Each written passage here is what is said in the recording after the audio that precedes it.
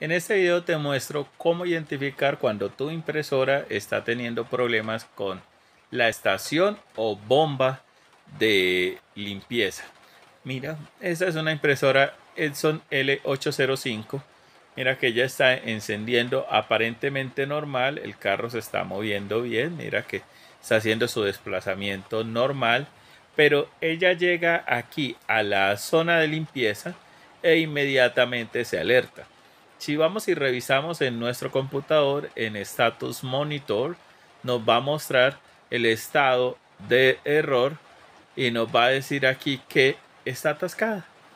O sea, básicamente nos dice error general, retire, apague la impresora, vuelva y encienda o retire cualquier elemento obstruido que impida el libre movimiento.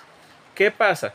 Cuando el cabezal intenta salir de la estación de limpieza, porque está haciendo su proceso de sensado, la bomba no está funcionando bien, entonces la estación se está quedando arriba.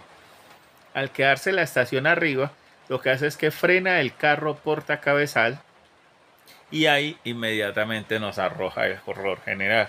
Para solucionarlo lo que tenemos que hacer es o reparar esa estación de limpieza o cambiar la estación de limpieza.